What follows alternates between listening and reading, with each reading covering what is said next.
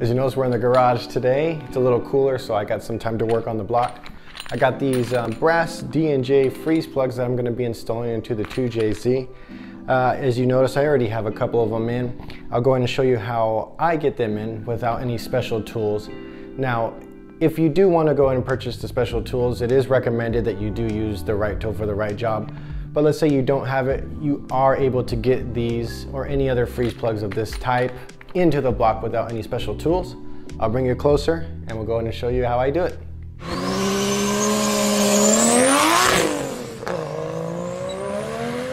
Before you start to actually fit this inside, it's a good idea to take a Scotch-Brite pad and just kind of clean up the inside where this is actually going to sit in. It makes it a little bit easier for install and you get less dirty particles that would fall in. As I stated previously, we are not going to use any special tools in this video. What you do want to do is you want to find something that's going to be resting this outer lip on.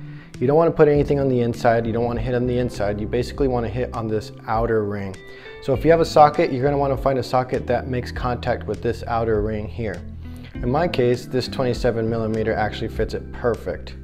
And if I turn around and show you, you can see there that it makes contact with that outer lip, the part that you're going to want to be hitting.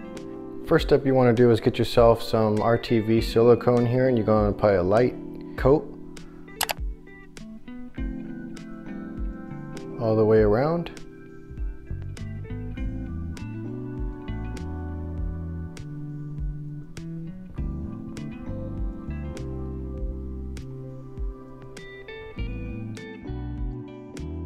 We can go ahead and set it in place.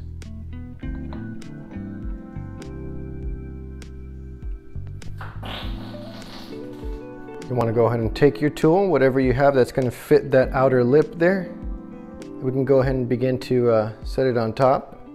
Now you can go ahead and just hammer straight on this if you wanted to, like this. That's perfectly fine. However, I do have a metal piece that I like to stick on top. It just makes it a little bit easier to hit for me. Again, no special tools or anything. If you have this laying around, that's great. You just want to hold it, give it a few hits here.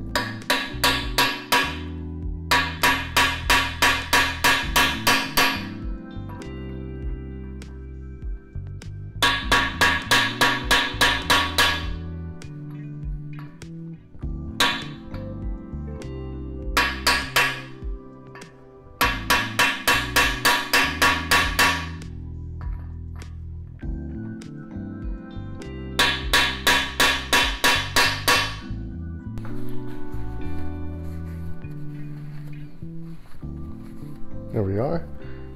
Go ahead and clean it off. And you've successfully installed that freeze plug into the block. You want to go ahead and just finish up all of them on both sides. Don't forget there is one on the very back of the block as well. Thanks for watching.